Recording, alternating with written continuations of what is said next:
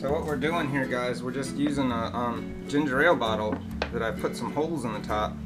Um, and this is a watering can. So when we use this, we're watering like rain, and that's our goal is to do it softly so we don't disturb the soil as much uh, and create these little holes in the soil that we have to fix with our fingers after we get done watering. So this is an easy way to um, disturb the soil as little as possible and water your plants like, uh, like nature. So we're mimicking nature.